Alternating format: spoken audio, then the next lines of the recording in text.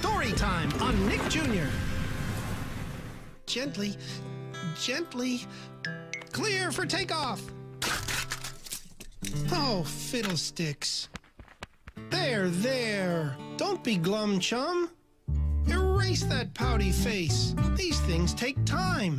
Have you ever heard the story of the tortoise and the hare? Say, here's our pal Cedric the entertainer. Cedric, have you heard the tale of the tortoise and the hare? Are you kidding me, Moose? Of course. Well, I think Zee here could really use a good fable right about now. Well, Zeke, it all went down like this. A bunch of animals were sitting around talking about this and that, mostly that, and this hare comes up looking an awful lot like a rabbit, if you ask me. And he says, Hey, y'all, have I mentioned lately how incredibly quick I am?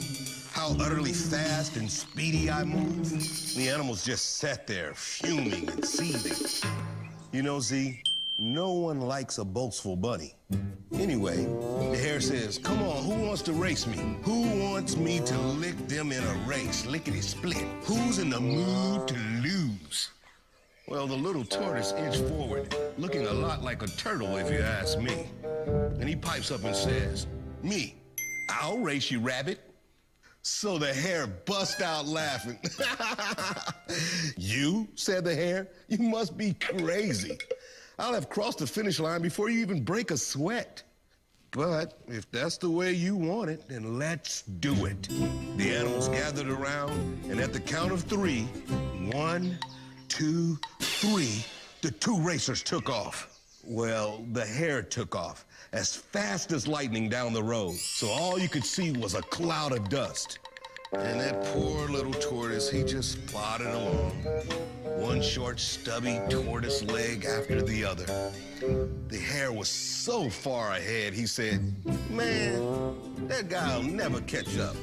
I'll just take a little snooze before I watch Shell Boy lose. And the hare decided to lay down under a tree for a brief nap. Meanwhile, the tortoise kept going, doing his best, slowly putting one foot in front of the other. And when the hare woke up, imagine his surprise to see the tortoise crossing the finish line. The tortoise had won the race. And do you know why, Zee? Because everybody knows slow and steady wins the race. Yep. If you keep at something, little by little, you will get there. Now, Zee, don't you have a model airplane to finish? Now that's entertainment. Yep.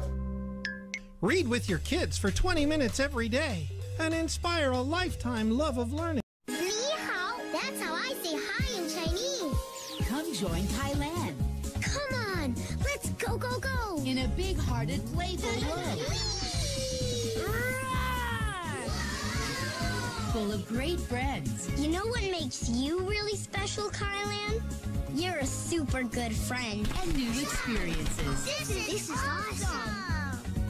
Catch Ni Hao Kai Lan every day on Nick Jr. Yeah!